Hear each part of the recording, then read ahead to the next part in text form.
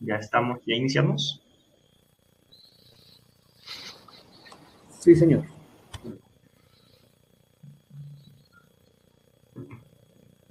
Bueno, buenas noches para todos. Primero que todo, tengan todos buenas noches. En segundo lugar, agradecerles a todos por el tiempo, por la atención que nos brindan en este momento. Eh, les garantizo que será un espacio muy productivo para todos los presentes. Aquí vamos a aprender y recordar algunos aspectos sobre síndrome de Cushing y relacionado con patología ginecológica. El día de hoy contamos con el apoyo de la doctora Ivonne Díaz, ginecobstetra, profesora y jefe de servicio de ginecología obstetricia del Hospital Militar Central. La doctora tiene amplia experiencia tanto asistencial como en investigación y además presidenta de la Federación Colombiana Obstetricia y Ginecología FECOLSOC.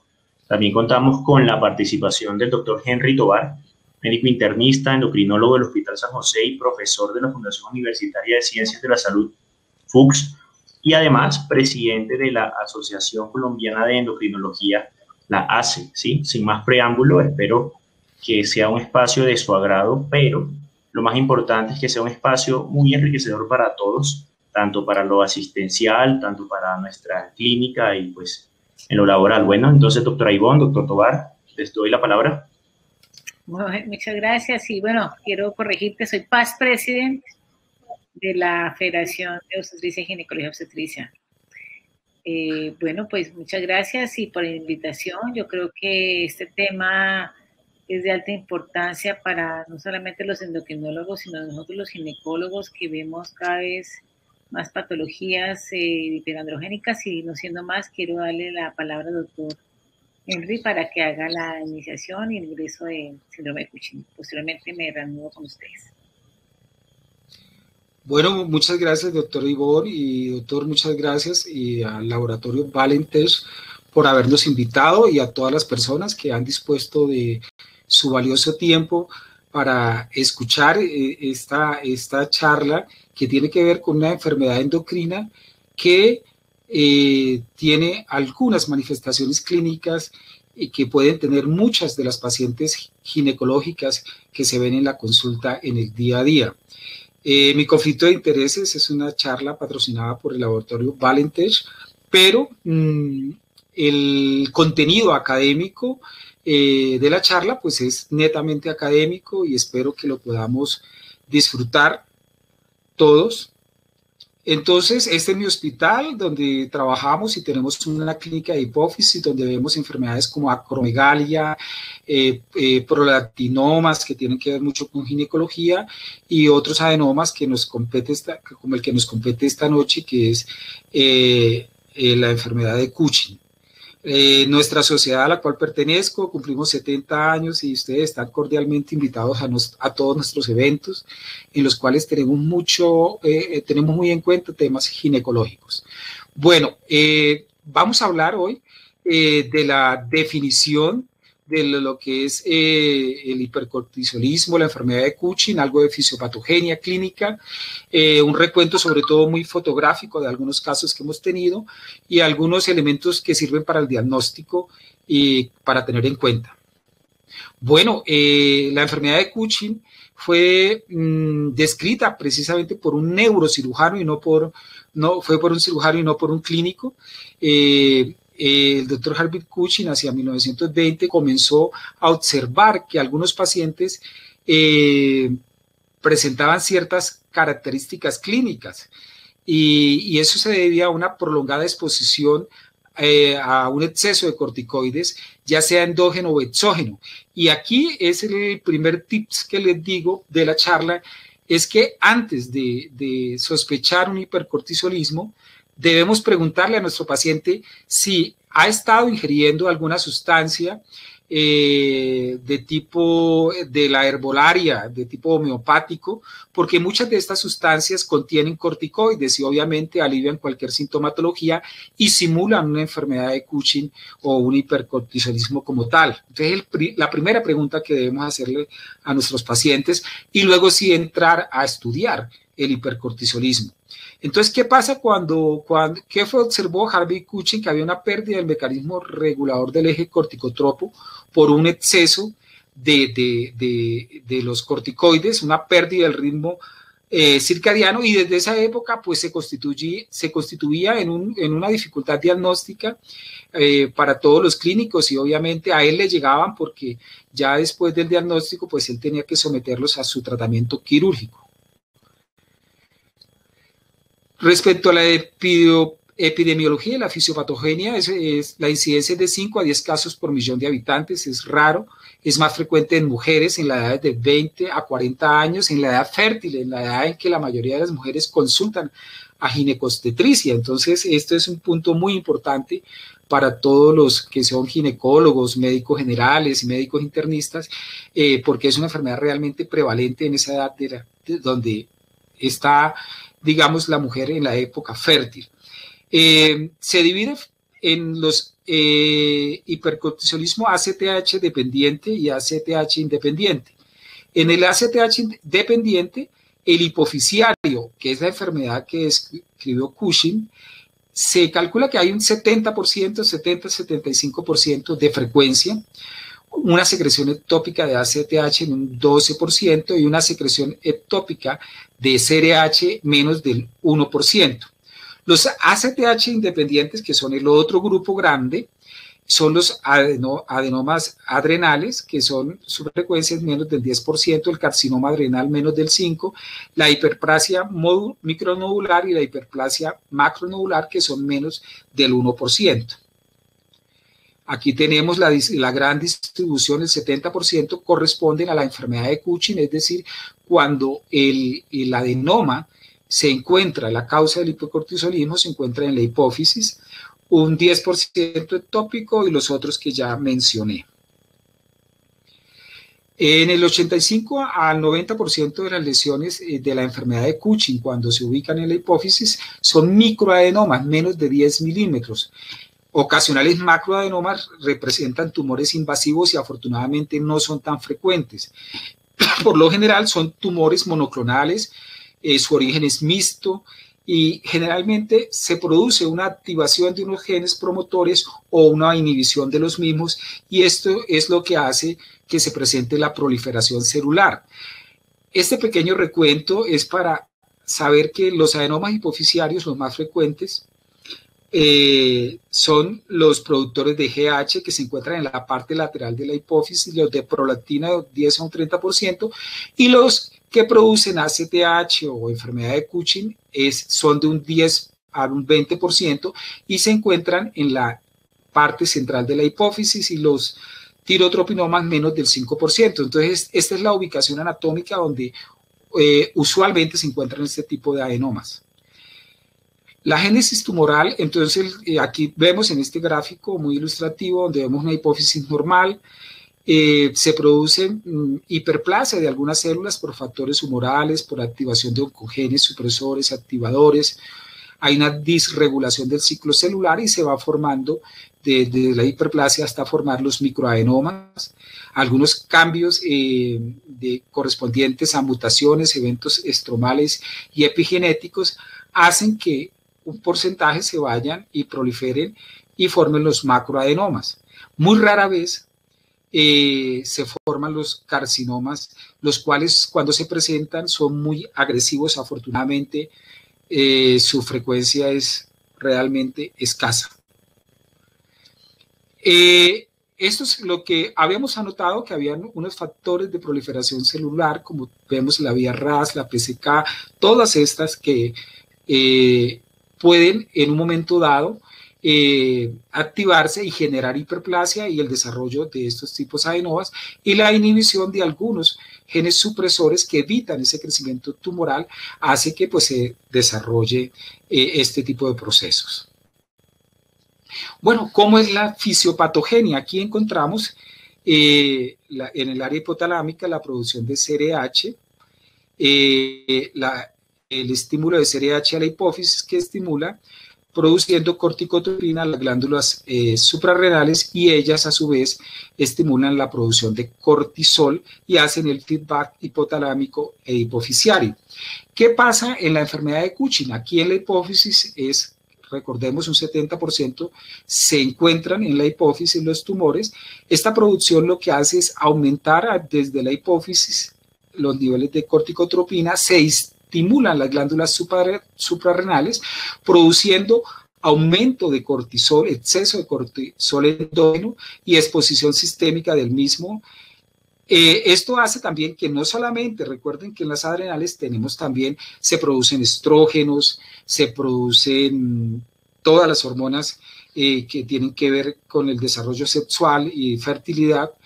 Entonces también hay un, hay, un, hay un exceso de estos mismos y esto hace que las pacientes presenten hipergonadismo eh, y eh, hirsutismo que veremos más adelante. Bueno, cuando el tumor se, busca, se ubica en la es de origen ACTH independiente, cuando se ubica en la glándula eh, eh, perdón, aquí en, eh, otra producción ectópica de corticotropina, lo que hace es estimular a la glándula para que produzca cortisol y se produce un freno de la secreción de CRH y ACTH y esto explica por qué en estos casos encontramos los niveles de ACTH normales o suprimidos. Cuando en, en, la gráfica de la derecha vemos acá cuando es también una producción ectópica de CRH, eh, esto se hace y el estímulo de la CRH va directamente a la hipófisis, produciendo corticotropina, estímulo de la glándula suprarrenal y aumento de los niveles de cortisol y inhibiendo la producción de CRH endógena. Cuando el estímulo es directamente por una lesión a nivel de la glándula suprarrenal, este exceso de cortisol lo que hace es frenar la producción de CDH y de ACTH. Y aquí es cuando vemos, vemos más adelante para el diagnóstico, encontramos los niveles de ACTH totalmente suprimidos cuando el tumor es de origen adrenal. Bueno, ¿qué pasa con el, exceso de, los, eh, glucocorticoides a nivel sistémico? Entonces, encontramos a nivel del sistema endocrino, hipogonadismo, disminución de los niveles de LH, de la liberación de FSH, de TSH, de la secreción de GH. A nivel ocular se pueden presentar glaucomas. A nivel de tubo eh, gastrointestinal, eh, eh, gastritis, ulceraciones pépticas. A nivel cardiovascular hay retención de sal y agua y esto termina en hipertensión, falla cardíaca.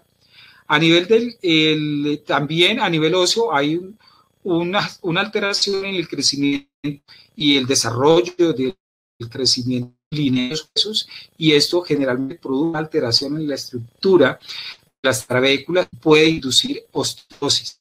A nivel del sistema inmune, una acción antiinflamatoria e inmunosupresora y esto hace que los pacientes sean susceptibles a infecciones a nivel de la piel, hay adelgazamiento de la piel marcado, eh, a nivel óseo, disminución de la formación del hueso y de la masa ósea y obviamente osteoporosis. Y a nivel de los adipocitos hay un aumento de la distribución de la grasa visceral.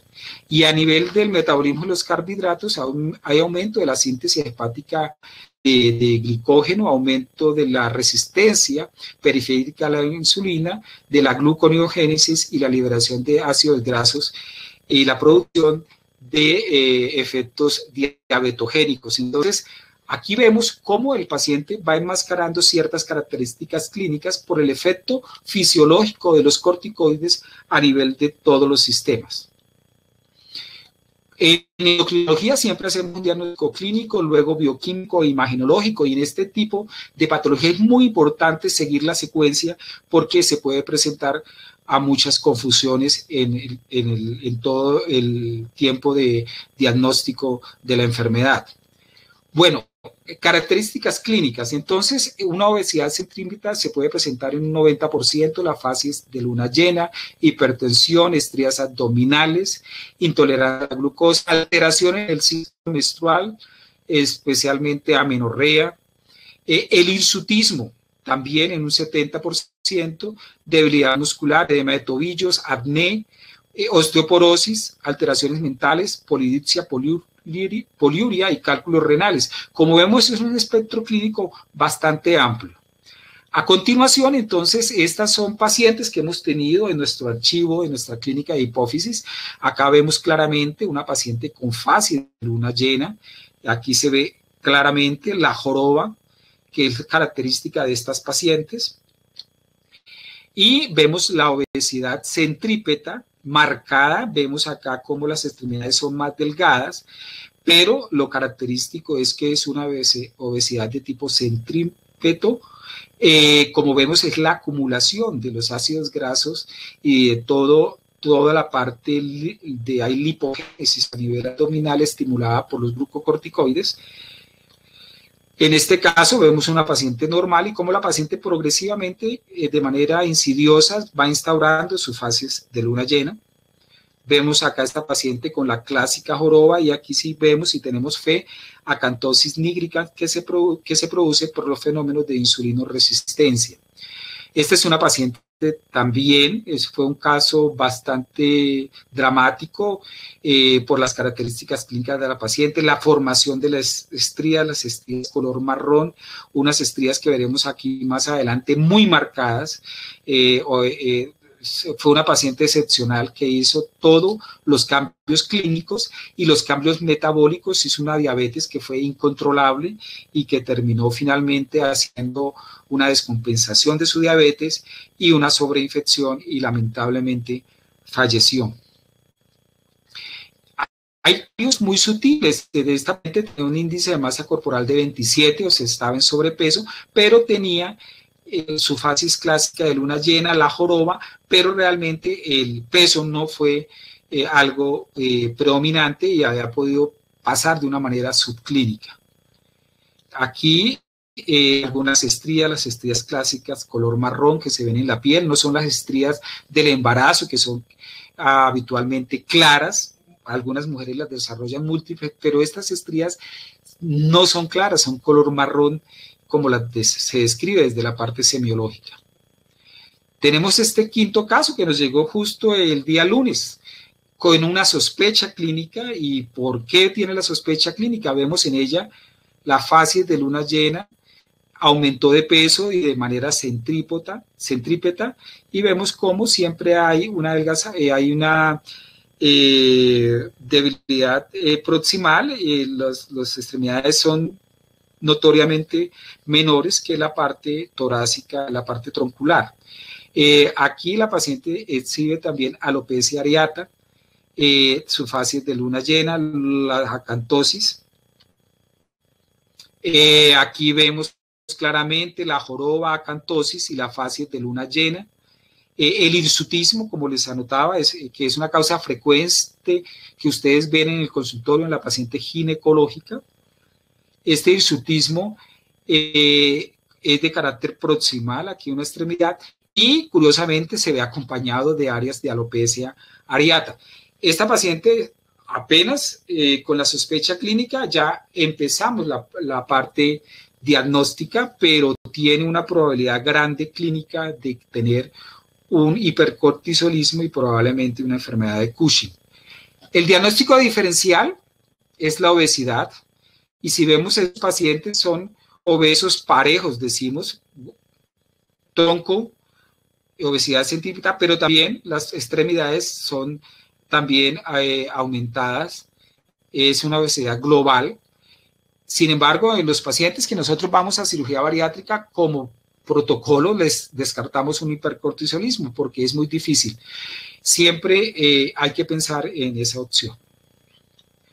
Bueno, esto se acompaña además pues, de obesidad central, de diabetes mellitus, de dislipidemia, de predominio de hipertrigliceridemia, hipertensión y aquí obviamente también podemos encontrar síndrome de ovario poliquístico. Bueno, cuando tenemos la sospecha clínica nos debemos de preguntar, ¿es un síndrome de Cushing? ¿Es un hipercortisolismo? Entonces, tenemos que analizar varios aspectos, el ritmo circadiano del cortisol, la excreción urinaria de cortisol libre, que sigue siendo una prueba muy importante para el diagnóstico, el test de supresión con dexametasona y otras pruebas que vamos a ver. Este es, un, es un cuadro muy interesante porque mostramos una CTH en un paciente normal, un cortisol en un paciente normal. La CTH tiene sus picos durante el día, pero son más o menos regulares por ciclos. El cortisol empieza a aumentar en horas de la mañana, la madrugada y es bien alto en la mañana, por eso en algunas ocasiones hacemos las pruebas de cortisol a esa hora, a las 8 de la mañana, después hacia el mediodía va descendiendo hasta que sus niveles más bajos son en la noche en un paciente normal. Por eso aquí también hay indicadas unas pruebas de cortisol salival, porque a esta hora los pacientes deben tener los niveles más bajos de cortisol. Un nivel alto pues va hacer la sospecha de una, una, enfermedad de Cushing. Y aquí tenemos el comportamiento de la ACTH en la enfermedad de Cushing, que son niveles normales o elevados permanentemente. Y aquí el cortisol rompe el ciclo y vemos cómo permanentemente hay unos niveles basales altos que se mantienen durante todo el día y toda la noche. Y estos cuadros son muy importantes para entender las pruebas que hacemos más adelante. Bueno, el cortisol urinario libre en orina de 24 horas es un soporte principal para medir el hipercortisolismo. Eh, el fundamento de, este de esta prueba es que porque diariamente la producción de cortisol está incrementada, es, es filtrado y no reabsorbido, y lo que se libera ahí pues es fidedigno de la excreción urinaria de cortisol. La mayoría del cortisol secretado se hace entre las 4 de la mañana y las 4 pm. Eh, esta prueba requiere una adecuada recolección de la orina con la medida de la creatinuria urinaria. Eh, no solamente una prueba es diagnóstica, se deben hacer dos o tres recolecciones consecutivas. Las limitaciones no detectan cambios sutiles y de un 8 a un 15% de los pacientes con hipercortisolismo, esta prueba puede ser normal.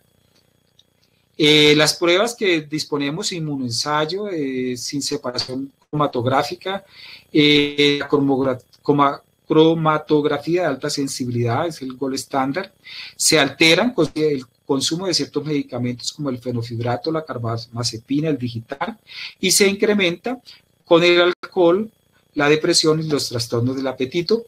Valores iniciales cuatro veces mayores del límite superior al normal son diagnósticos cuatro veces. Cuando uno encuentra un valor de cuatro veces el valor normal, ya de inmediato uno dice, esta paciente tiene su hipercortisolismo. Valores intermedios entonces hacen que la prueba la hagamos, eh, la repitamos en varias oportunidades hasta tres veces. Eh, ¿Qué dificultades tiene? Es incómodo la recolección urinaria, especialmente para las damas. Eh, puede, ser, puede presentarse una incompleta o una excesiva recolección, el volumen puede falsear, falsearse si el cortisol es mayor, si el, falsear el cortisol si el volumen es mayor de 5 litros, falsamente bajo si la depuración de la creatinina es menor a 60 mililitros por minuto, por eso se debe medir también. Y puede ser normal en otra patología, que eso incluye otro tema para hablar, que es el síndrome de Cushing cíclico, que eso se presenta por etapas y sintomáticas y asintomáticas con pruebas positivas y negativas, pero eso es tema de otro charla. Las cuestiones asociadas a hipercortisolismo sin tener síndrome eh, eh, hipercortisolismo como tal es el embarazo, la depresión, otras condiciones psiquiátricas, la dependencia al alcohol, la resistencia a los glucocorticoides, la obesidad mórbida, la diabetes mellitus pobremente controlada, condiciones que se deben tener en cuenta al realizar la prueba. La otra prueba es el test de supresión, que se hace con bajas dosis de dexametasona, un miligramo vía oral a las 11 de la noche, y se mide el cortisol a las 8 de la mañana. Este siempre debe haber uno basal y la interpretación es normal si la supresión es menos de 1.8 microgramos por decilitro. Si es mayor de 10 microgramos por decilitro es un hipercortisolismo y hay una zona gris de 2 a 9. Hasta el 30% de estos pueden dar falsos positivos y valores mayores de 14.3 microgramos por decilitro tienen alta especificidad. El mecanismo de darla se suprime por la acción de la desametasona. Hay un estímulo a la a la, a la, de ACTH y esto hace que el cortisol se suprima e inicialmente y las pruebas pues den estos valores y cuando esto no sucede pues eh, se trata de un hipercortisolismo como tal. Eh, ¿Qué es importante aquí tener en cuenta? Las mediciones y la enfermedad hepática pueden alterar su metabolismo como tal, las variaciones metabólicas individuales, Eh, la otra prueba, y es la que hemos eh, utilizado en la actualidad, es el cortisol salival, es sencilla, no requiere, no requiere ingreso hospitalario, hay una precisión diagnóstica de una única determinación en la noche y ya ha sido valorada y validada por varios estudios, valores superiores a 2 nanogramos por mililitro reportan sensibilidad y especificidad, especificidad mayores del 96%. Hay dificultades porque hay diferencias entre las pruebas que han sido introducidas, necesitan validación local, el estrés es una variable que se debe considerar y comorbilidades y la edad pueden afectar estos rangos. Aquí tenemos eh, niveles de cortisol basal en un sujeto normal que vemos, como decíamos, la mayor de, producción de cortisol se hace en horas de la mañana con un pico a las 8 de la mañana y un descenso progresivo hacia la medianoche. Cuando empieza el hipercortisolismo ya se empiezan a detectar niveles alterados de estos valores y ya cuando hay un síndrome de Cushing severo, pues encontramos niveles alterados permanentemente. Bueno, entonces, una vez determinamos con pruebas de cortisol urinario sugestivas de hipercortisolismo o con el cortisol salivar o con las pruebas de exametasona, entonces nos enfrentamos a una pregunta. ¿Cuál es la causa, causa del hipercortisolismo? ¿Es ACTH dependiente o ACTH independiente? Entonces ahí viene la medición de la ACTH. Y esto se debe hacer de esta manera progresiva para evitar confusiones. Aquí vemos cómo los niveles de ACTH en la enfermedad de Cushing pueden estar normales o elevados.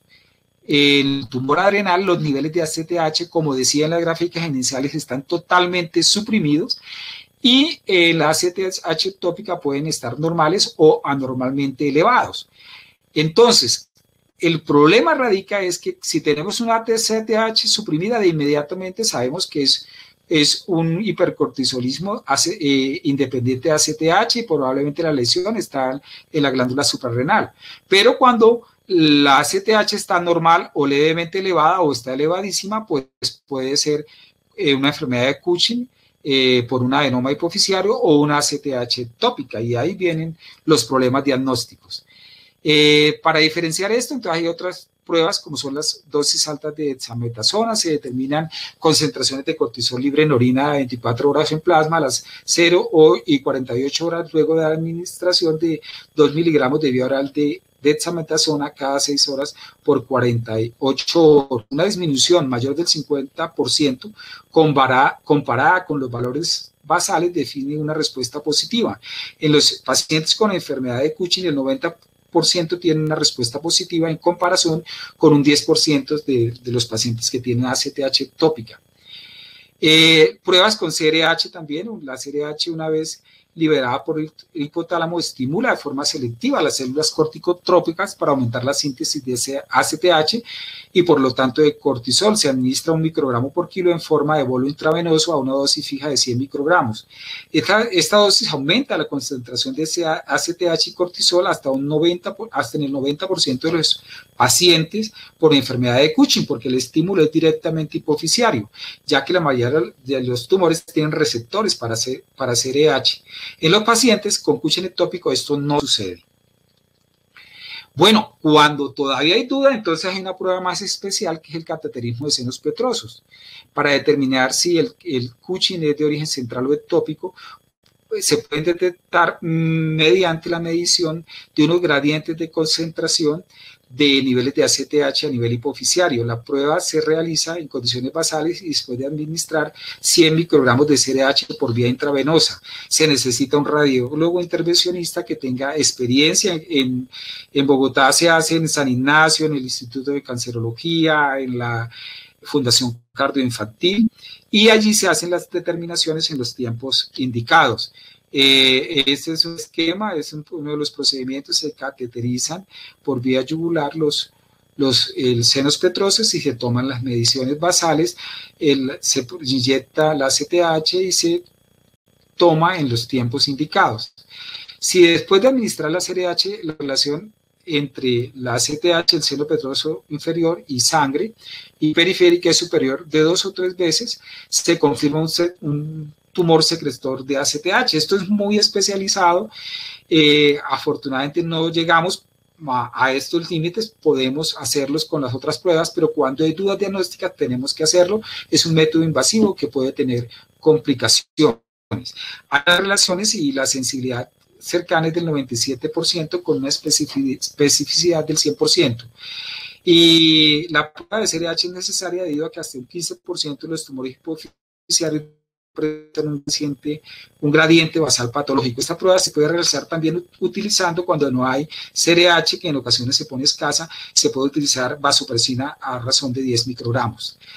Este es un ejemplo de una de las pruebas que le hicimos a nuestras pacientes le medimos ACTH periféricos, el seno petroso derecho el izquierdo y el gradiente, y aquí vimos cómo en los niveles basales eh, ampliamente mm, vimos cómo las concentraciones mayores eh, lateralizaron en estos valores, en este gradiente, y esto es, es muy útil para que en el tratamiento quirúrgico el neurocirujano sepa qué es lo que va a hacer. Bueno, una vez pues hechas estas pruebas, pues tenemos que hacer la resonancia nuclear magnética de silla turca para detectar el, adenoma de hipófisis en la enfermedad de Cushing o TAC y resonancia nuclear magnética de tórax y abdomen en el caso de que los, el hipercortisolismo sea, sea ACTH independiente. Eh, estas son algunas imágenes de, de, resonancia de nuestros pacientes. Se encontraron unas lesiones pequeñas, menores de de, 10 milímetros. Eh, en estas pacientes eh, eh, tuvimos un caso de un macroadenoma que fue muy dramático, pero afortunadamente, como les digo, son pocos los casos. Aquí para resumir, entonces muy importante el mensaje para llevar a casa si hay altas sospechas de síndrome de Cushing por los hallazgos clínicos. las pruebas de primera línea son el cortisol libre urinario, salival, a la medianoche y bajas dosis de dexametasona. Si estas son normales, pues se descarta Cushing y se estudian otras enfermedades. Si está alterado, pues es un síndrome de Cushing y hay que hacer el diagnóstico diferencial si es ACTH dependiente o ACTH independiente. Si está suprimida, pues sabemos que la lesión puede estar en las adrenales y con de las adrenales eh, se pueden encontrar lesiones adenoma, carcinoma, hiperplasia o displasia y el tratamiento es quirúrgico y esta es como la vía más fácil. Pero cuando la ACTH plasmática es normal, entonces hay que pensar en una CTH dependiente y el diagnóstico diferencial es si es ectópico o si es hipoficiario. Entonces, con las pruebas que describimos de la estimulación del CRH, la inhibición de alta dosis de esa metasona o cuando es necesario hacer el cateterismo de senos petrosos cuando hay duda. Si es hipoficiario, pues estamos con la enfermedad que describió Harvey Cushing hacia 1920, se hace la resonancia magnética de hipófisis y el tratamiento es quirúrgico y médico en determinados casos.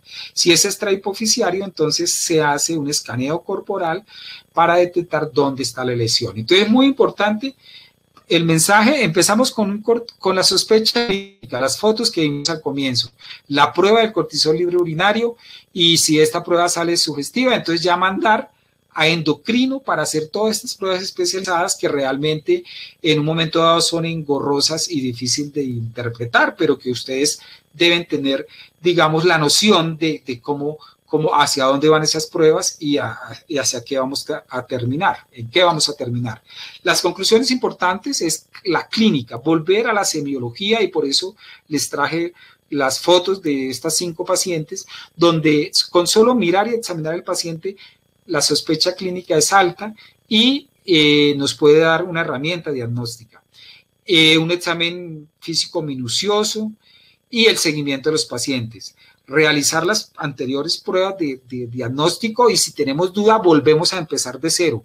Y siempre hacer el diagnóstico clínico, luego bioquímico y luego imagenológico. Muchas gracias y espero que, se lleven, digamos, una impresión de esas alteraciones que podemos encontrar en estas mujeres de edad fértil de 20 a 40 años en las cuales esta patología rara puede estar presente. Muchas gracias a todos.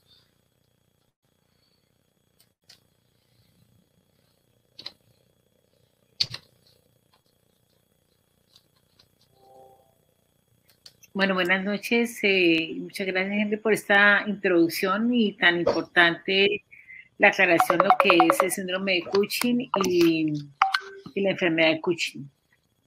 Voy a compartir mi pantalla.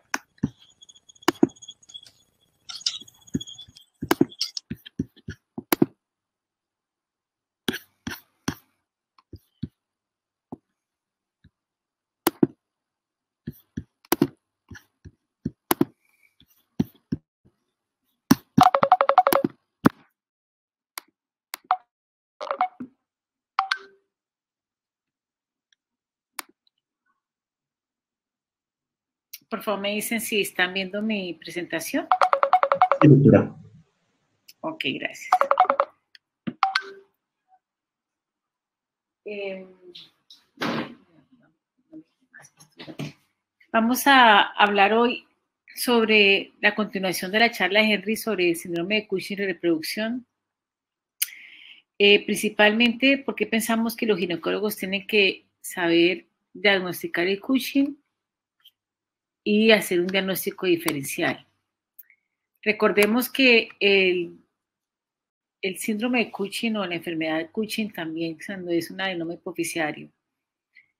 Desde el punto de vista ginecológico nos interesa por varios motivos. Uno, se nos presenta como una paciente con un estado hiperandrogénico, del cual tenemos que descartar otras causas hiperandrogénicas como puede ser ovario poliquístico, un tumor productor de andrógenos, una hiperprolactinemia, un hipotiroidismo. Se nos presenta también como una paciente que tiene una anormalidad del ciclo menstrual, una menorrea, una hemorragia normal. Se nos puede presentar como una paciente con un estado hiperandrogénico únicamente. O se nos puede presentar también como una paciente que tenga una osteoporosis. Eh, desde ese punto de vista, eh, tenemos que entender por qué estas son las eh, presentaciones clínicas de una paciente que tiene síndrome de Cushing o, también poder tener una enfermedad de Cushing. Primero, eh, el cortisol es un inhibidor de la GnRH directa, directo. y obviamente nos va a disminuir, por tal motivo, la LH y la FSH, y nos va a disminuir el ciclo ovárico y nos va a presentar una alteración del ciclo menstrual y posiblemente una menorrea. Por otro lado, recordemos que eh, cuando hay un aumento del cortisol, pues el cortisol es la hormona del estrés y, va a catabolizar las proteínas donde encuentre para producir energía, para producir glucosa. Y la globina transportadora de hormonas sexuales no puede estar ajena a ese catabolismo, entonces la globina transportadora de hormonas sexuales a nivel hepático se va a disminuir y nos va a quedar andrógenos libres. O sea, vamos a tener menos andrógenos eh, eh, unidos a la proteína que obviamente van a estar más activos. Y por otro lado, eh, el cortisol de por sí va a afectar todo lo que es la esteroidogénesis periférica y lo que en un momento dado se nos interpreta como un hiperandrogenismo. Las manifestaciones clínicas del síndrome de Cushing son, como decía el doctor Tobar, son múltiples. Pero a nosotros los ginecólogos eh, nos interesa muchísimo eh, casi que la totalidad de las pacientes irregularidades menstruales, un 81% de las pacientes tienen un estado hiperandrogénico, que eso obviamente es muy importante para nosotros como los ginecólogos porque la paciente nos va a consultar a nosotros. La paciente no la va a consultar al endocrinólogo por un problema de ciclo menstrual, va a consultar a nosotros por un problema de amenorrea o hemorragia normal. Eso es muy, muy, muy importante tenerlo en cuenta. Teniendo esto en cuenta, entonces tenemos que tener que una paciente que se nos presenta con obesidad, un estado hiperandrogénico y posiblemente un estado, eh, una hipertensa, tenemos que descartar que esa paciente no tenga un, un Cushing. desde el punto de vista de, del estado hiperandrogénico, que tal vez es lo más que afecta a la paciente y que posiblemente nos consulta a nosotros, es tener en cuenta que cómo es la fisiología de los andrógenos. ¿Por qué una paciente que tiene un síndrome de Cushing va a tener un, estado hiperandrogénico? ¿Por qué? Sabemos nosotros que la mayoría de la fuente de andrógenos en la mujer es periférico pero hay una fuente de ovario y hay una fuente de las suprarrenales. El ovario nos aporta la testosterona y la androstenediona. La suprarrenal nos aporta la dehidroepiandrosterona sulfato, que es el andrógeno más débil. Entonces uno pudiera decir que si es por eso, en un estado hiperandrogénico no podría verse, pero resulta que como los andrógenos están unidos a la gluna transportadora de hormonas sexuales, pues van a haber andrógenos libres que van a actuar. Entonces van a haber andrógenos como la testosterona, la androstenediona, y todos ellos van a actuar. Entonces es como si se potenciara la acción de los andrógenos. Obviamente la testosterona, que es la más e, es activa, pero la más activa es la hidrotestosterona. Pero la hidrotestosterona que actúa por la 5-alfa reductasa tiene que tener testosterona para que actúe. Y ahí obviamente tenemos que ver eh, el estado hiperandrogénico en estos pacientes. La producción total de testosterona en mujeres normalmente varía aproximadamente 0.35 miligramos. Es muy baja, realmente es muy baja, si nosotros lo comparamos solamente con los hombres. Pero en esto tenemos que tener en cuenta que la mayoría de la producción de andrógenos es una conversión periférica, no solamente de origen ovárico y suprarrenal, pero la mayoría es periférica. Y aquí vemos nosotros como que la, la secreción ovárica es de 0 a 1 en la conversión periférica, fíjense que la mayoría, la androstenediona pasa a testosterona, la de hidroepiandrosterona a testosterona y el total de testosterona total es de 0.35. La de sulfato es la más débil. Entonces, si nosotros hablamos de potencia los andrógenos, el más potente es la de hidrotestosterona. Le sigue la testosterona. Luego, en tercer nivel, eh, o tercer puesto, la androstenediona. La de hidroepiandrosterona y por último, la de hidroepiandrosterona sulfato en potencia, en potencia androgénica. La mayoría de la testosterona en la circulación, o sea, el 85%, está estrechamente ligada a la gluna hormonal de, eh, la gluna transportadora de hormonas sexuales.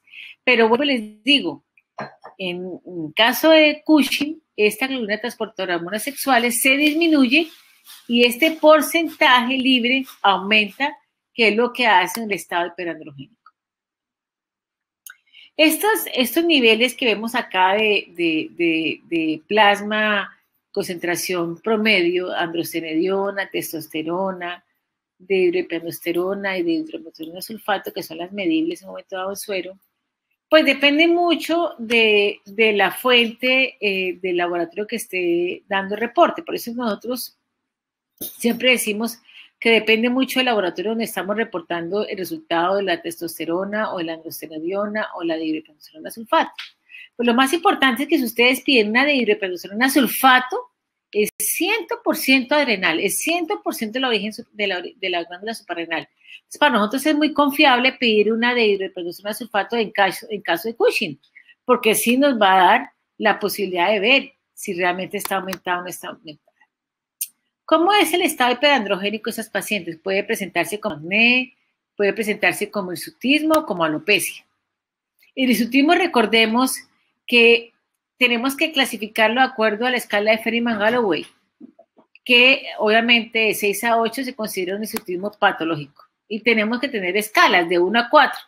Recordemos que está en la cara, está en el bigote, en el mentón, en la parte superior del tórax, en la parte inferior del tórax, en el abdomen, en la parte de las extremidades, en los, tanto los brazos como las piernas, la cara interna, las piernas, en el dorso, en la parte superior de la espalda, en la parte posterior hacia eh, eh, los glúteos.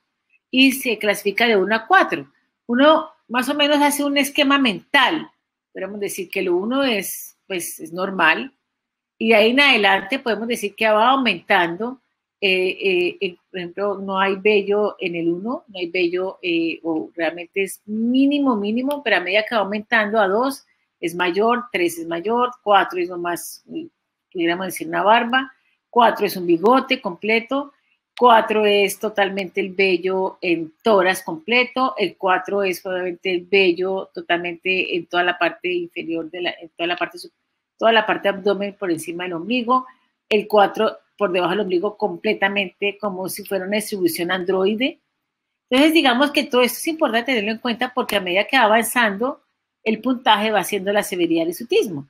Entonces, eh, un estado 1 es una leve posibilidad de vello a nivel de la parte superior de la boca, labio superior.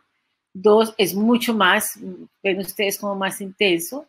El 3 obviamente casi cubre toda la parte superior del, del labio superior y el 4 pues es evidente el bigote, podríamos decir. Igual la barba. La barba, el 4 es barba completa. El 3 es, sí, ahí eh, bastante bello, eh, el mentón. El 2 es un poco más amplio y el 1 es uno que otro bello. Igual la parte del, del, del, del tórax, eh, en la parte superior del abdomen, eh, la parte inferior del abdomen, ven ustedes cómo ven acá, ustedes por cuatro, si no pues, supiéramos que es una mujer, diríamos que es la distribución completamente android del vello público en el hombre, totalmente, ¿sí? Eh, y obviamente las, las, las piernas, la cara interna, los muslos, la parte de la espalda. Entonces uno va como familiarizándose un poco con el score en esas pacientes. El acné, el acné es un poquito más difícil de clasificarlo. Es decir que uno sea un acné mínimo, leve, moderado, severo, siempre es acné. Eh, pero depende un poco de, la distribución del acné, de las pápulas que tiene, la, de, la severidad del acné como tal. Es muy difícil poder clasificar el acné, como ustedes se pueden dar cuenta. Es muy subjetivo. Y de hecho, pues sí, cuando uno lo ve en un momento en las revistas y en los journals, realmente ninguno se atreve a, clasificarlo como tal. La alopecia. La alopecia, pues la clasificación no es tampoco clara. Sabemos que, que lo que más afecta es la parte, eh, eh la parte frontal, la parte eh, proximal del, del cuero cabelludo como tal.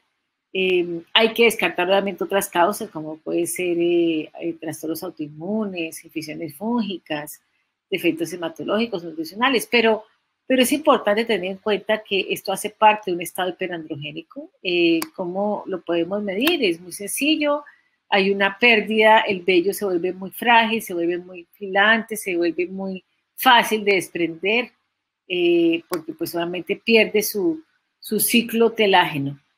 Las causas, ven ustedes acá como las causas de un estado pedandrogénico, pues obviamente tenemos que descartar ovario poliquístico, como de una en el chat hay una pregunta de una doctora, ¿cómo se descarta con ovario? Claro, es la primera opción que tenemos nosotros como descarte de ovario poliquístico.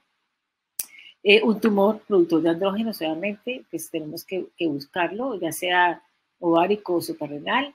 Eh, tenemos que descartar, obviamente no es tan frecuente esos estados disruptivos tan severos como un hipotiroidismo, una hiperprolactinemia, pero hay que tenerlo en cuenta.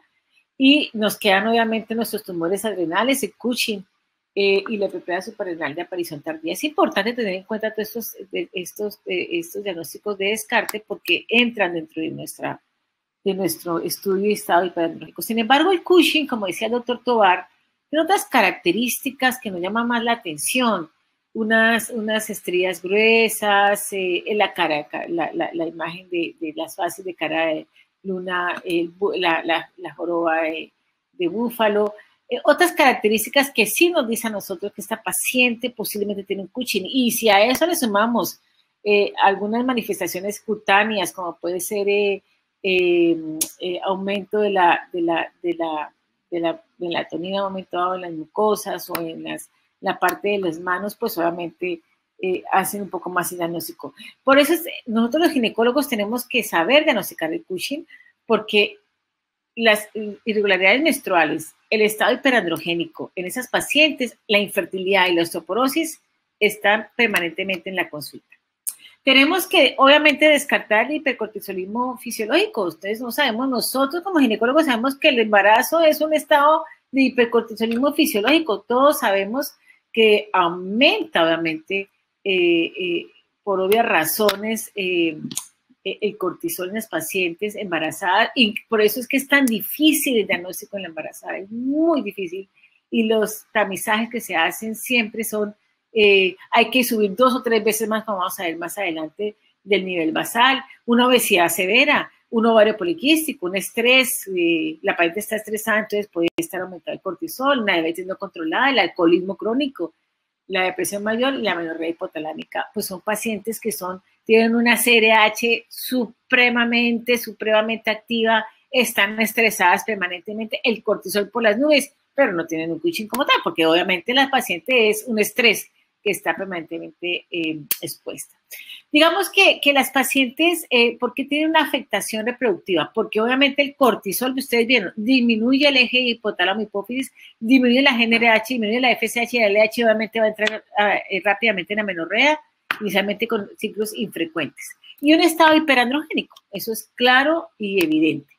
Desde el punto de vista de infertilidad, eh, estas pacientes es muy raro que se embaracen, o sea, es raro ver la paciente embarazada con Cushing, pero hay pacientes que se embarazan, pero la infertilidad es porque hay disminución del eje hipotálamo hipófisis, la paciente no va a ovular adecuadamente, obviamente hay un exceso de andrógenos que el andrógeno también disminuye el, eje eh, hipotálamo hipófisis, crea una retroalimentación negativa, aumentando obviamente las beta-endorfinas, aumentando obviamente todo lo que es la CTH, el cortisol, el, eje está disparado y obviamente se inhibe completamente, obviamente la GNRH y FSH. Obviamente hay una disminución de la folicogenesis y pues ahí no hay posibilidades de embarazo. Eh, hay también no solamente el eje, sino que también se cree que las neuronas KISS, las, las que expresan los receptores, parece que ahí expresan, se expresan receptores para glucocorticoides y de por sí ellas van a inhibir eh, directamente el eje hipotálamo hipófisis, no solamente por la vía del cortisol directamente por la, por la CRH, sino que también pueden afectar directamente las, las quispectinas. Y eh, posiblemente em, la, la, por medio de la gonadotropina la hormona, eh, responden negativamente al cortisol y eso puede ser también una forma de inhibir la GNRH. Entonces, hay múltiples factores que pueden inhibir la liberación de la GNRH por medio de directamente la CRH, por medio de disminución de, la, de las gonatropinas, por medio de las peptinas. Eh, obviamente, la parte de la aromatización periférica hace que estos estrógenos también vayan a disminuir, obviamente, eh, el ciclo, eh, el eje hipotálamo hipófisis ovario y eh, va finalmente a desencadenarse en toda una alteración de la calidad del ovocito, de la esteroidogenesis y que posiblemente en caso tal de que la paciente llegue a quedar embarazada, todo lo que afecta incluso eh, abortos o, la posibilidad de una alteración fetal como tal. ¿Qué pasa durante el embarazo? Entonces, el embarazo en Cushing tremendamente, es un reto diagnóstico para nosotros los obstetras, porque porque definitivamente tenemos que diagnosticarlo y tenemos que tratarlo porque la posibilidad de una morbilidad materna fetal y mortalidad materna es muy importante, es muy alta. Sabemos nosotros que eh, la CRH sintetiza CRH en la zona de la teca, en la zona del estroma ovárico y el cuerpo lúteo, y que hay receptores de CRH en el endometrio. Por eso es que hay cambios fisiológicos en las gestantes parecidos a un, hipercortisolismo.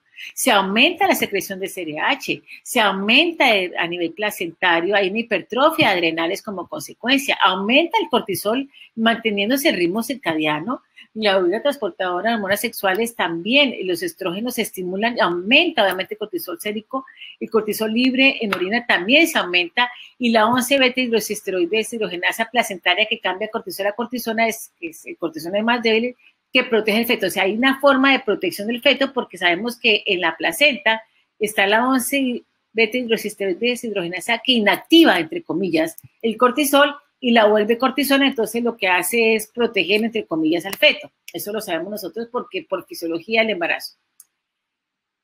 Desde el punto de vista, sabemos que es más prevalente, es más frecuente eh, la, eh, los productores de la, enoma, que es productor de, de, ACTH, y obviamente va dar origen al Cushing, y que por eso posiblemente las posibilidades de que una paciente se embarace es muy raro. Por eso es que es tan infrecuente y es tan eh, en la literatura eh, son escasos los datos que tenemos de Cushing con embarazo. Eh, y ustedes ven en la literatura que, que, que, si pasan de 200 casos es mucho, pero obviamente por eso es que hay series de reporte de casos, porque no podemos ver una gran cantidad de series de pacientes embarazadas con Cushing. Entonces, o la paciente tiene un Cushing persistente, o la paciente lo hace en ese momento, o hace un pseudo Cushing como tal para pensar en embarazo.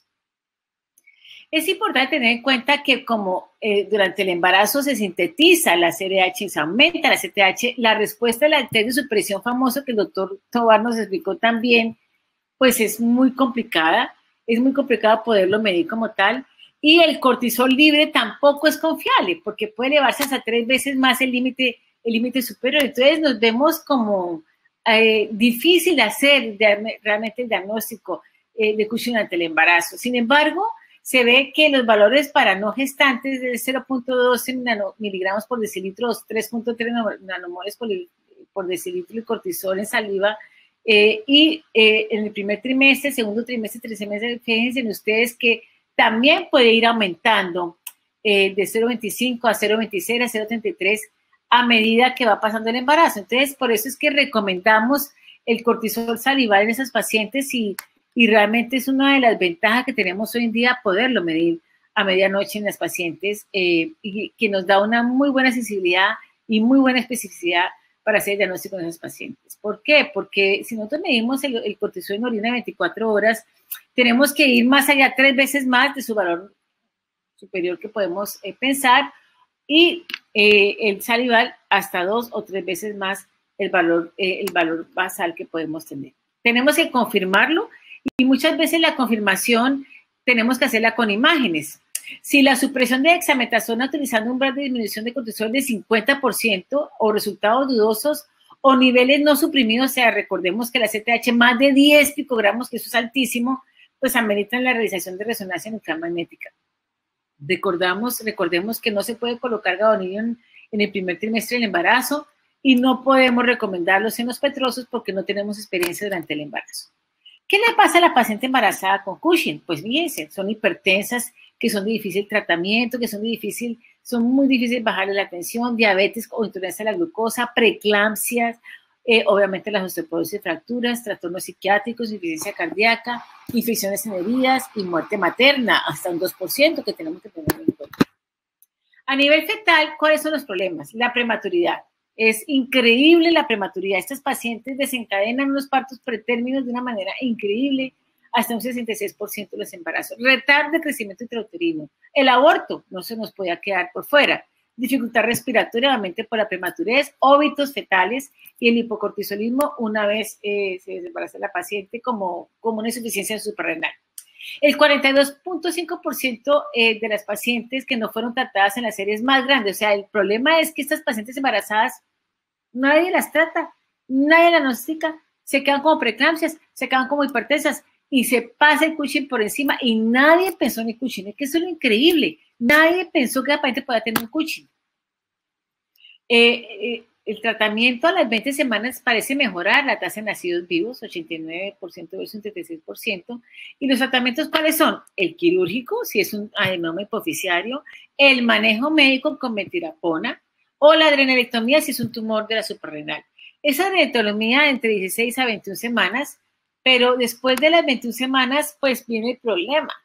Y este es un caso, es un case report que les traigo una paciente embarazada de 25 semanas con un síndrome de Cushing debido a un tumor adrenal, era izquierda, la paciente cursaba con 25 semanas de embarazo con un tumor adrenal. Imagínense ustedes el problema, una paciente que tiene un tumor adrenal, 25 semanas de embarazo, pues no, era conveniente eh, eh, operarla, una, una cirugía retroperitoneal con un útero ya avanzado en gestación, entonces se dieron la opción de darle metirapona, dosis escaladas de 250 miligramos cada 8 horas, tres veces al día, pero ir poco a poco colocando la metirapona.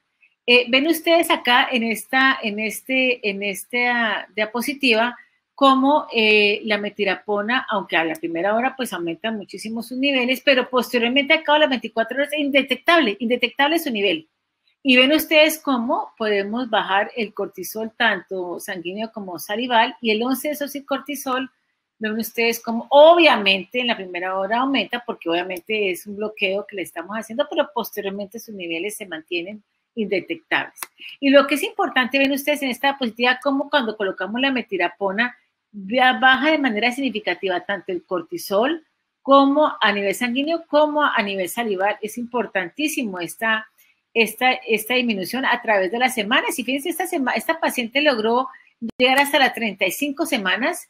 Y cuando el niño, el niño nació y que nació a las 35 semanas, de las 10 semanas tomando metirapona, eh, se, se, no, se coloca, eh, se toman niveles sanguíneos eh, venosos y arteriales del cordón y ven ustedes cómo también la metirapona se ve detectable, pero que lo que es interesante tener en cuenta es que es un niño que fue saludable, que no tuvo ningún problema, que no tuvo signos de insuficiencia renal tampoco y que eh, logró eh, feliz eh, desenlace en esta paciente y que resolvió su problema. Se le, se le quitó su preeclampsia, la paciente posteriormente bajó de peso. O sea, realmente es una paciente que pudo haberse manejado muy bien. Se, se, vio el, desenlace favorable en el paciente con manejo médico. Desafortunadamente hay limitaciones de terapia. Em, eh, hay pacientes que no reduce desafortunadamente el retardo de crecimiento uterino o parto pretérmino. Eh, hay una mejoría eh, de nacidos vivos cuando pues, se trata médicamente y hay que individualizar cada paciente. Cada paciente hay que definitivamente individualizar el tratamiento porque, porque sabemos nosotros que es un poco difícil en esas pacientes embarazadas, pero ven ustedes cada vez más reportado eh, pacientes con éxito en tratamiento con manejo médico. Es importante tener en cuenta que la metirapona eh, aumenta precursores de la 11 psicorticosterona que puede ocasionalmente empeorar la, hipertensión. No fue el caso de esa paciente que al contrario mejoró la presión, pero la paciente tener en cuenta que la paciente estaba siendo manejada como una hipertensa, tenía nifedipina y la paciente mejoró muchísimo eh, esa parte, pero con antihipertensivo. El ketoconazol obviamente no lo podemos manejar, obviamente no está, está contraindicado en el embarazo, solamente tenemos la opción de la metirapona como tratamiento médico. ¿Por qué? Porque eh, el ketoconazol tiene pues, eh, efectos teratogénicos, igual el mitotano también tiene efectos teratogénicos. digamos que la cargolina, pero cuando tiene, es un tumor de origen hipoficiario, y obviamente las otras no, no están recomendadas durante el embarazo. Desafortunadamente el estado hiperandrogénico es algo que por más de que no tenemos tratamiento a la paciente, por más de que la operemos, por más de que tenemos el problema del adenoma hipoficiario, el suprarrenal o lo que sea, el hiperandrogenismo no va a quitarse. Tenemos que darle antiandrógenos. Entonces la posibilidad de los antiandrógenos de estas pacientes, em, pues bueno, hay, hay posibilidades, hay anticonceptivos, obviamente ya pase su, su embarazo, eh, o si la paciente está en estado fértil, eh, anticonceptivo no tiene ese embarazo, eh, la posibilidad de anticonceptivos orales con eh, progestágenos con efecto antiandrogénico es muy importante. La espinolactona es algo que tenemos que tener en cuenta y es que es una muy buena antiandrogénico, es un bloqueador de los andrógenos. se puede dar de 50 a 200 miligramos diarios, ya que disminuye la producción de de hidrotestosterona que inhibe la 5-alfa reductasa y ya que pues obviamente inhibe la hidrotestosterona, hay que esperar por lo menos seis meses a un año para ver efectos eh, benéficos del tratamiento de la espinolactona y eh, se observa hasta un 15 o 25% del diámetro del eje del pelo, que es importante eh, desde el punto de vista del pronóstico de los pacientes. En pacientes jóvenes es muy raro ver, no, no lo hemos visto, alteraciones a nivel de electrolito o hiperpotesemia en esas pacientes. La finasterida es la segunda línea porque pues, el flutamide no lo, no lo indicamos por problemas hepatotóxicos. Es un inhibidor de la 5-alfa reductasa, se da 5 miligramos por día, es totalmente eficaz en el sutismo y tiene una eficacia similar a, a 100 miligramos de espinolactona. Es una segunda línea si la espinolactona no ha funcionado, pero definitivamente el láser pues solamente eh, no podemos eh, ir en contra, o sea, es, excelente el láser, pero no, no indicamos el láser si no iniciamos un tratamiento en esas pacientes previamente, porque si no, no va a haber eh, efecto benéfico. La exfoliidad de flomitina, que es una crema tópica que también es muy bueno, para esos pacientes. Los anticonceptivos en el acné es muy bueno. También hay que darles eh, agentes tópicos, como es el peróxido tópico y retinoides, que precisamente utilizan mucho los dermatólogos. Antibióticos, pues cuando se necesita, cuando es un antiinflamatorio es moderado a severo. Y la isotetrinoína definitivamente ha dado un efecto benéfico en las pacientes con, con acné. La alopecia, la alopecia, pues finalmente el, el minoxidil tópico del 2%, pues puede ser un tratamiento eh, eficaz para las pacientes con alopecia. Hay que esperar por lo menos seis meses. Antes de eso no es posible eh, ver el resultado de los pacientes. Eh, hay datos, tratamientos con láser, pero pues no, no, pues no, es como muy confiable. El uso análogo pues al de trasplante de cabello, pues ya esos son, ah, son digamos, alternativas ya en última en última instancia cuando no ha, dado resultado el minoxidil. Los datos sobre el uso de antiandrógenos sistémicos como el acetato promadinona, diosperinona, espinolactona y frutamida, pues digamos, que no es tan eficiente para alopecia, realmente esto es más eficiente para, para el sutismo acné, pero no para alopecia. Eh, el pronóstico tenemos que recordar que, que, desafortunadamente por más de que haga la cirugía hay una mortalidad eh, de 50% de mortalidad a 5 años, riesgo cardiovascular persiste aún después de tratamiento, los signos de Cushing de, desaparecen de 2 a 12 meses después, puede, puede mejorar obviamente la diabetes y la hipertensión, obviamente la osteopenia eh, suele mejorar, pero también es importante tener en cuenta que hay pacientes que han tenido un desgaste de osteoporosis y tenemos que dar tratamiento complementario de osteoporosis y algunos eh, síntomas eh, empeoran los meses siguientes cuando posteriormente la paciente termina su tratamiento. Se requiere sospecha clínica, siempre pensemos en un coaching con paciente que tenga un estado hiperandrogénico, una paciente que tenga obesidad, una paciente que tenga hipertensión. Tenemos que descartar el en estas pacientes, hay que hacer diagnósticos importantes durante el embarazo, hay que descartarlo porque podemos evitar la morbimortalidad en esos pacientes. Muchísimas gracias por su atención y estamos atentos a las preguntas que surtan del webinar.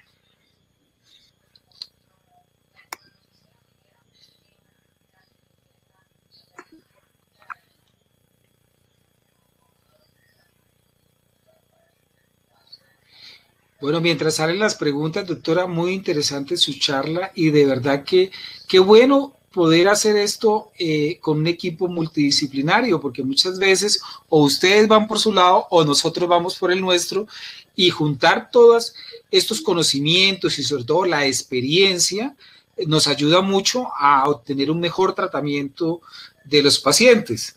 Eh, en mi experiencia propia, ahora que hablo de coaching y embarazo, tuvimos un pseudo coaching durante un embarazo. La señora hizo los cambios totalmente de Cushing en el embarazo, le hicimos las pruebas y obviamente, como usted decía y anotaba muy claramente, eran pruebas confusas que no podían confirmar o descartarlo. El hecho es que lo que poco a poco vimos fue que el embarazo se dio a, eh, a feliz término y fuimos tratando las complicaciones y a los dos meses vino la paciente y no la reconocimos, ya vino totalmente normalizada, sin hirsutismo, sin obesidad, que realmente fue, fue, fue una experiencia muy importante porque no la reconocíamos. Se presentó, dijo, yo era la señora y trajo sus fotos y, y, fue un pseudo y le hicimos las pruebas y todo normal. Sí. Realmente es un reto para, para el manejo y tratamiento de una paciente en esas condiciones. Ese reporte de caso que usted mostraba allí, pues eso es, es algo para tomar eh, decisiones en grupo. y eso yo creo que el objetivo de la charla esta final es poder trabajar eh, en grupo porque de esta forma podemos eh, diagnosticar y tratar en su medida de lo mejor a las pacientes. Entonces, muy interesante escucharla y hacer que estas dos especialidades puedan confluir y aportar cosas tanto para el personal médico de ambos, de los compañeros endocrinólogos como los compañeros ginecólogos también. Exacto, exacto, porque mira, eh, fíjate que, que, el beneficio para finalmente es la paciente, si me entiendes? O sea, tenemos, nosotros como ginecólogos tenemos siempre que pensar en la posibilidad de Cushing, siempre. Eso es como cuando uno tiene una paciente embarazada, primer trimestre y está sangrando. Piensa en el tópico porque si no piensa en el tópico no lo va a diagnosticar. Yo digo a mis estudiantes lo mismo, mire, piensen siempre en paciente de estado hiperandrogénico la posibilidad que pueda tener un Cushing, siempre. ¿Por qué? Porque es que el problema es que se puede pasar y obviamente la paciente embarazada, pacientes hipertensas, preclánticas, uno las ve obesas, hiperandrogénicas, hipertensas, esta paciente le dando un Cushing. Pasa una revista en el hospital, esta paciente no tendrá un Cushing Nadie pensó en eso. Y llama a un endocrinólogo, oiga, sí, sabe que sí, em, empecemos el estudio, hagamos las pruebas, hagamos todas esas cosas. Entonces es importante que el, grupo multidisciplinario esté permanentemente al lado de la paciente.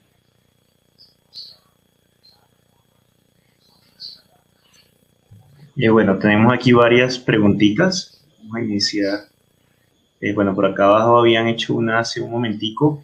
Era orientada, doctora, digamos, hacia los principales diagnósticos diferenciales eh, a síndrome de Cushing, pero orientado a la parte, a la patología ginecológica, particularmente haciendo una pregunta acá eh, por síndrome ovario poliquístico. Sí, a ver, es que el ovario poliquístico, pues es la patología más frecuente, 35% en edad reproductiva, en estados hiperandrogénicos. O sea, es indudable que la frecuencia ovario poliquístico es superior a la, frecuencia que podamos tener Cushing. Eh, y por eso tenemos nosotros que eh, pensar que es un ovario poliquístico, pero para poder decir que es un ovario poliquístico tenemos que descartar todos los estados hiperandrogénicos que tenga la paciente. Por eso en los criterios de Rotterdam nos dice, de 2003, tiene tres criterios, dos de tres tiene que cumplir los criterios para poder tener un ovario poliquístico, pero el cuarto criterio es descarte las otras causas de estados hiperandrogénicos, descarte un tumor productor de andrógenos, descarte un Cushing, descarte una hiperplasia superinal de expedición tardía, descarte un hipotiroidismo, descarte una hiperprolactinemia. Entonces, eso es importante tenerlo en cuenta porque, pues, obviamente, si hemos descartado lo anterior, pues la paciente se queda con el diagnóstico ovario poliquístico sabiendo los fenotipos que tenemos, porque las sociedades de andrógenos sabemos que hay cuatro fenotipos, tres con hiperandrogenismo y uno que no tiene hiperandrogenismo es el menos frecuente, no es más de 16 al 20%. Entonces, eh, generalmente son estados hiperandrógenos. Tenemos otra pregunta, nos pregunta Flor Cusio, ¿a qué se deben los casos de pseudo-Cushing? ¿Por qué las pacientes desarrollan todas las características del Cushing y después eh, desaparecen?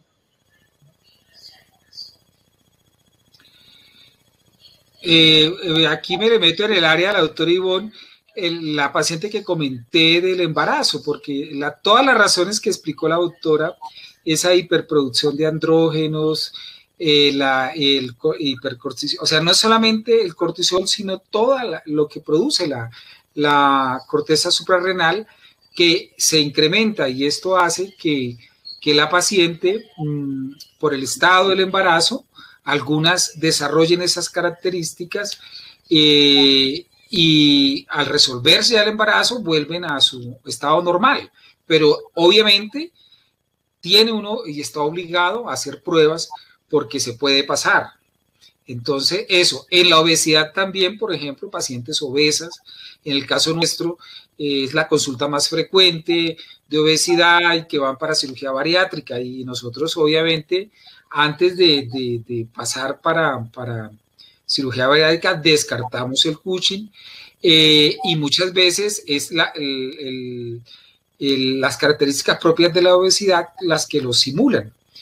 Pero eh, haciéndole las pruebas, pues vemos que no se trata de esto. En algunos pacientes que tienen disfunción hepática, que tienen depresión también, eh, presentan estados de hipercortisolismo que se resuelven al, al resolverse la patología de base. Pero digamos, en todos estos casos de pseudo Cushing hay que hacer las pruebas. Estamos obligados para descartarlo. Tenemos aquí otra pregunta, doctores, para doctora Ivonne, este es como un caso clínico. Entonces, tiene una paciente de 60 años con síndrome metabólico y sospecha de síndrome de Cushing. A esta paciente la envían al ginecólogo por un hallazgo incidental de un aumento en el volumen ovárico bilateral con volúmenes de 14 cc. No se evidencian masas ováricas entonces, ¿qué opinión puede considerarse en este caso? ¿Es secundario o es de origen primario el aumento en el volumen ovárico? ¿Qué conducta seguir en este caso? No, ver, una paciente de 60 años con un aumento de volumen ovárico es absolutamente, hay que descartar un tumor productor de andro, un tumor ovárico, porque es que a los 60 años la paciente ya está por menopausia. Ya no hay, no hay quien estimule los ovarios, ya los ovarios ya están eh, completamente atróficos. Entonces, algo que esté aumentando el volumen del ovario, es, el ovario es porque es un tumor de ovario. Entonces, hay que, más a los 60 años. Es una paciente que hay que descartar un tumor, eh, un tumor y en ese caso un tumor maligno.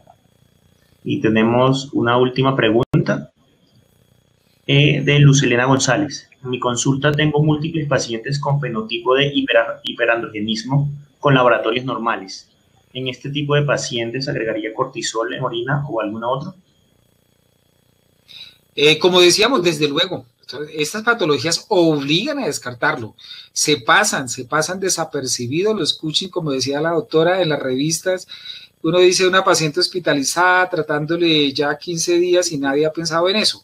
O pacientes de consulta externa que vienen y medicadas, pero, pero cuando uno las ve y detenidamente encuentra que tienen características y hay que descartárselo. Son pruebas eh, mínimo un cortisol libre en orina de 24 horas, uno o dos pruebas que no son costosas eh, y que se pueden hacer. Y si ya eh, dan, dan, dan idea de que pronto puede tratarse un hipercortisolismo, pues se hace todo el otro estudio, pero mínimo tener una prueba de estas basales.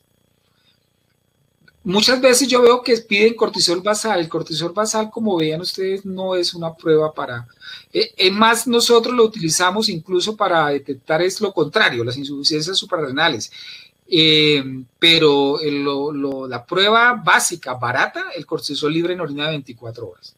Nos da la indicación inicial para proceder ya a todas las pruebas que, que habíamos anotado y descrito antes. Totalmente de acuerdo. No, no tenemos más preguntas y nos hemos extendido un poquito en tiempo, pero creo que fue una actividad bastante interesante, bastante útil para todos. Eh, doctora Ivonne, doctor Tobar, muchas gracias. Con mucho gusto. Tenemos una última preguntita. Doctora Ivonne. Sí. Paciente embarazada con preeclampsia o hipertensión en segundo trimestre, ¿habría que descartar Cushing? ¿Qué pruebas se harían en este caso? Sí, a ver, eh, lo que expliqué en la charla, desafortunadamente en el embarazo es un pseudocuchino. Recordemos que, que, la CRH estimula obviamente el embarazo, el embarazo la estimula, eh, se crea como un hipercortisolismo fisiológico. Entonces, como les digo, no es fácil diagnosticar. Sin embargo, hay que descartarlo. Una paciente preeclámptica, una paciente hipertensa durante el embarazo, hipertensión crónica, de la paciente embarazada, pero que tenga algunas fases también de hiperandrogenismo, porque es que no es solamente el hecho de tener una preeclampsia y ya entonces un no. Una paciente que hay que examinarla muy bien, hay que buscarle el estado hiperandrogénico, es una paciente difícil de manejo de su hiperclampsia, una paciente que ha aumentado de peso de manera exagerada, ha aumentado el peso más de lo que normalmente debería aumentar. Entonces son pacientes que uno dice, le pone la alerta, hay que descartarle el a esta paciente. Entonces, tenemos, hay que ir dos a tres veces, todos los valores que hagamos, dos a tres veces por encima. O sea, sabemos que el embarazo está elevado, entonces tenemos que irnos dos o tres veces más de lo que es el cortisol en orina de 24 horas o el cortisol salival. Se deben hacer las mismas pruebas, como decía el doctor Tobar, pero dos o tres veces más por encima de lo que normalmente están, porque están por encima de eso. Perfecto. Bueno, eh, gracias, doctor Ivón, doctor todas gracias. Nos extendimos un poco y a todos nuestros asistentes, mil gracias. Eh, esperamos contar con, ustedes en una próxima ocasión. Y pues, eh, por ahí están nuestros contactos para cualquier cosita de aspecto académico o lo que se requiera. Bueno. Pero muchas gracias, doctor Ivón, y todos los asistentes. Y muchas gracias a ti. Lo mismo para todos. Muchas gracias por estar en estas, estas horas todavía aquí escuchándonos. Listo. Buenas noches. Un abrazo. Hasta luego. Que estés bien. Gracias, doctor. Gracias.